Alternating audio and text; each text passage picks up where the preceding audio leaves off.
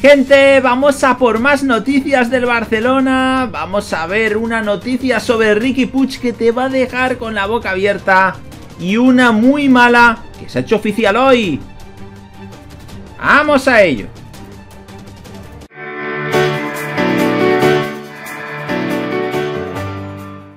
Hola de nuevo chicos, ¿cómo estáis? Bienvenidos de nuevo a otro vídeo para el canal. Vamos a analizar la última hora del Fútbol Club Barcelona. Vamos con varias noticias, por tanto te animamos a que te quedes hasta el final del vídeo ya que nos dejes un buen like. Vamos sin más dilación a analizar la primera noticia y vamos a ver qué jugadores están sorprendiendo este año en Can Barça. El Barça parece que comienza a carburar bajo las órdenes de Kuman y ya existen los primeros jugadores que han evidenciado un cambio bastante notable que les convierte en líderes del equipo. El conjunto culé ha pasado meses muy difíciles pero deportivamente hay motivos para ser optimistas ya que los siguientes jugadores están a un nivel totalmente impresionante, hasta el punto de ser catalogados como grandes promesas de la temporada en el Camp Nou. Por un lado, uno que nunca falla, Marc-André Ter Stegen. No vamos a negarlo, sorpresa sorpresa no es el rendimiento del guardameta alemán, ya que es, si no el mejor, uno de los mejores porteros del planeta. Su regularidad del terreno de juego es impresionante, tapa todos los problemas que el Barça tiene en defensa con paradas espectaculares. Sin duda, está siendo su temporada con más trabajo en el cuadro culé. Luego está Ronald Araujo, ante la plaga de lesiones que ha tenido el club, a no le ha quedado otra que contar con el defensor charrúa que cumple su primera temporada en el primer equipo. Sorprendentemente el uruguayo está teniendo un rendimiento más que bueno, diríamos que notable, dado que se muestra como un jugador mucho más veterano de lo que parece, muy asentado y con la cabeza bien amueblada, se ha ganado ser el tercer central tras Piqué y Lenglet. Luego tenemos a Frenkie de Jong. La temporada la comenzó algo dudoso. De hecho, muchos señalaban como un fichaje fallido, ya dado que no estaba al nivel que mostraba en el Ajax temporadas atrás. La llegada de Kuman le ha dado confianza, le ha puesto en una posición más adecuada para él y ha comenzado a rendir de nuevo. De hecho, en los últimos encuentros hasta ha logrado anotar goles. Su juego está siendo vital en el equipo azulgrana, dado que tiene mucho criterio con el balón en los pies. Luego otro de los jugadores que más ha sorprendido ha sido Pedri. Es la gran sorpresa no solo del Barça sino también de la Liga Española, dado que está teniendo un nivel excelente acompañando al mismísimo Leo Messi. Buen juego, asistencias, goles, titularidad tras titularidad. Y cabe recordar que el talentoso futbolista canario acaba de cumplir los 18 años, su futuro es muy brillante pero también ha demostrado ser un futbolista de presente. Y otro ha sido Ousmane Dembélé, otra gran sorpresa. Y es que el rendimiento del extremo francés ha sido sorprendente. Ha dejado atrás las continuas lesiones que tenía temporadas atrás y ahora está totalmente centrado en su juego. Por tanto, chicos, estos son los jugadores que más están sorprendiendo.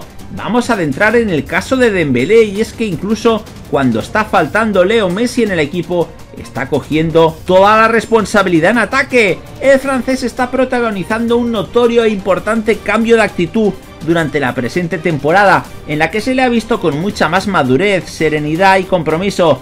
Dada esta situación, el francés ha sido recompensado con la confianza de Kuman, quien le ha brindado los minutos necesarios para hacerle destacar. El pasado fin de semana, en el encuentro entre el Barça y el Elche, el jugador del Borussia Dortmund dio una clara muestra de lo importante que es actualmente para el equipo culé. De igual manera, durante el tiempo en el que estuvo en la cancha, asumió con seriedad la responsabilidad de cumplir con las funciones que usualmente tiene Leo Messi, quien no disputó el encuentro dada la suspensión que cumplía por la tarjeta roja que recibió en la final de la Supercopa de España. Kuman lo ubicó en la posición clásica en la que suele estar Messi, como extremo por la derecha y además le otorgó la batuta del ataque barcelonista, ya que fue el precursor de la mayoría de las acciones ofensivas de los azulgranas y pateó una gran cantidad de balones parados, fueron grandes destellos hasta que el técnico neerlandés de forma extraña decidió sustituirlo en el minuto 74 para dar entrada a Francisco Trincao. Frente al Elche Dembélé completó un gran partido en cuanto a lo más observable, puesto que se le notaron las ganas y la ambición, principalmente en el primer tiempo. En cuanto a sus datos, para dicho periodo, el galo logró completar 5 de los 7 regates que intentó, así como 22 de los 29 pases que ejecutó además de dos entregas decisivas, por tanto chicos, gran rendimiento de Usman Dembélé. Vamos a hablar ahora chicos de las cuentas del Barcelona y es que han salido a la luz. El Barça hizo pública la memoria anual de cuentas, unos documentos que han llamado mucho la atención entre los seguidores azulgranas en ella se detallan las cantidades que debe el club y que le deben otros clubes a él por fichajes que todavía no se han terminado de pagar o cobrar. En lo referente a deudas, los del Camp Nou deben unos 126 millones de euros a otras entidades a corto plazo concepto que aparece textual en el documento. En la memoria anual de cuentas se refleja con detalle 20 operaciones que todavía tienen que saldar los culés, 19 de ellas referentes a jugadores y una un tanto peculiar con el Atlético de Madrid, además de una última denominada como otros. A los cochoneros el club catalán le debe este curso 5 millones de euros por derechos preferenciales de la llegada de Antoine Griezmann a la ciudad condal en julio de 2019. La cantidad más elevada que debe esta temporada en lo referente a fichajes de jugadores es la de Coutinho. El Liverpool aún debe percibir 29 millones de euros este curso. Le sigue De Jong por el que han de abonar al Ajax poco más de 16. Ya por debajo de los 10 millones aparecen varios nombres y muchos de ellos ya empiezan a resultar más que llamativos. Y es que el Barça, por ejemplo, todavía debe 9.8 millones a Girondins de Burdeos por Malcolm, un jugador que lleva un año y medio ya en el Zenit. De las operaciones más llamativas del documento destacan los 241.000 euros que le adeudan al Villarreal por Denis Suárez, los 250.000 al Valladolid por José Arnaiz o los casi 2.5 que Leibar debe cobrar esta temporada por la recompla de Marco Curella, que acabó después en el Getafe. Pero no solo el Barça debe dinero, también le deben al Barça, aunque menos. En total son 46.447.000 euros los que ha de percibir esta campaña el club por salidas de jugadores. Antes resaltábamos algunos casos que también aparecen en esta lista, como el caso de Malcolm, por el que el Zenit ha de pagar casi 9.5 millones, y el de Cucurella, por el que el Getafe aún tiene que abonar casi 6. Otras deudas curiosas son los 900.000 euros que la Juve debe pagar por Pablo Moreno, jugador por el que también el City tiene que abonar aún 128.000 euros, o el millón que debe el Sporting por Alberto Botía, jugador que abandonó Gijón en 2012. Y es que además, chicos, a corto plazo el Barça debe 730 millones.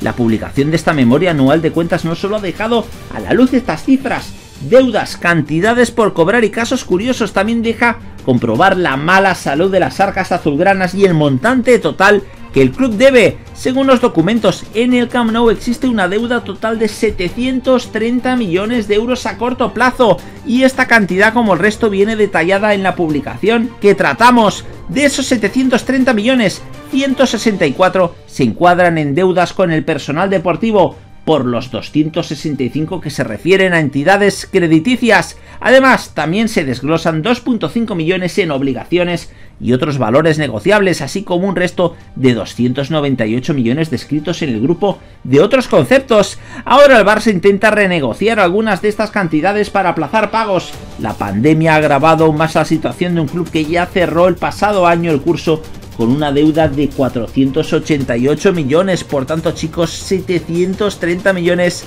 debe a corto plazo el Fútbol Club Barcelona. Vamos ya para acabar, chicos. A hablar de la reacción de Ronald Koeman tras el gol ayer de Ricky Puch y es que el holandés ha sido enfocado nada más que Ricky Puch anotara 0-2 frente al Elche un gol especial para él al ser el primero vistiendo la camiseta del primer equipo y daba la impresión de que no estaba nada contento con que la tranquilidad para su equipo en el tramo final de partido llegase de un tanto de uno de sus descartes de pretemporada. El técnico holandés concedió al canterano minutos residuales al final del encuentro y este respondió de forma sobresaliente. Se gana una vez más oportunidades futuras de un entrenador que da la sensación de que los saca regañadientes. Las cámaras enfocaron la reacción de Kuman al gol y parecía estar muy lejos de un gesto de felicidad y alivio tras un partido que podía complicarse al llegar al tramo decisivo con únicamente un gol. Aquí vemos chicos la reacción de Ronald Koeman y cómo se le quedó la cara luego de alegría ninguna. Nos gustaría saber vuestra opinión al respecto y que por favor nos la dejéis en los comentarios